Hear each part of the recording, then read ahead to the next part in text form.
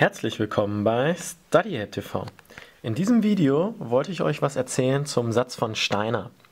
So, und das ist quasi dann der Fall, wenn man das Flächenträgheitsmoment bestimmen will, und zwar nicht bezüglich unserer Hauptachsen.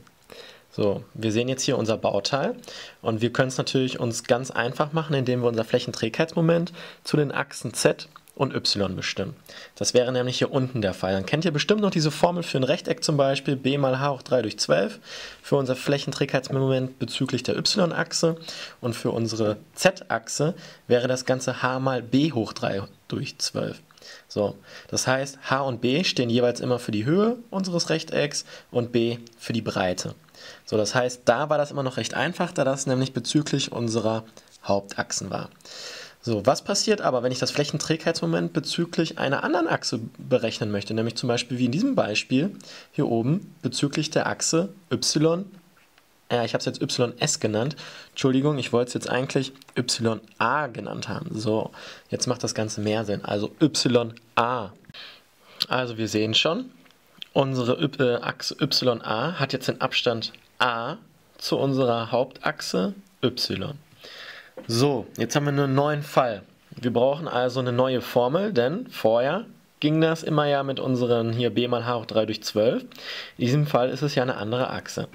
Merkt euch dann, wenn ihr also eine andere Achse habt, also der Satz von Steiner mit äh, dazu kommt, dann wird die Formel, nämlich für unser Flächenträgheitsmoment bezüglich der YA-Achse, also IYA, ist dann gleich unser ganz normales IY, also das ganz normale hier b, hoch, äh, b mal h hoch 3 durch 12, plus, und jetzt kommt es nämlich, Satz von Steiner hier, nochmal markieren am besten, a Quadrat, also das kleine a, also der Abstand zu dieser Achse zum Quadrat, mal, so mal a, also dem Flächeninhalt unserer Geometrie.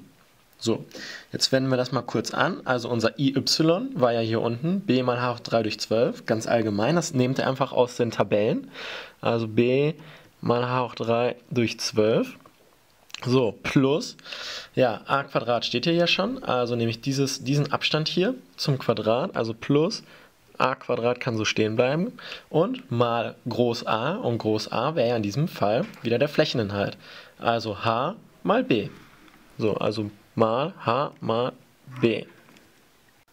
Also wie ihr seht, wenn ihr das Flächenträgheitsmoment bestimmen sollt, guckt erstmal, ob es wirklich auch bezüglich eurer Hauptachsen gemeint ist. Wenn nicht, dürft ihr hier diesen äh, Steinerschen Anteil, also dieses Stück hier, nicht vergessen. Ne? Sonst gibt es Punktabzüge und dann äh, Züge und dann macht ihr dumme Fehler quasi wieder, die nicht sein bräuchten, weil es einfach Schema dann ist, das einfach äh, durchzuführen. So schwer ist es ja nicht, dass man das noch berechnet, aber damit ihr jetzt Bescheid wisst. In einem anderen Video werde ich euch einfach noch ein Beispiel dazu zeigen, damit das noch klarer wird, aber ich hoffe, ich konnte euch erstmal so ein bisschen was dazu zeigen. Vielen Dank für eure Aufmerksamkeit und viel Erfolg!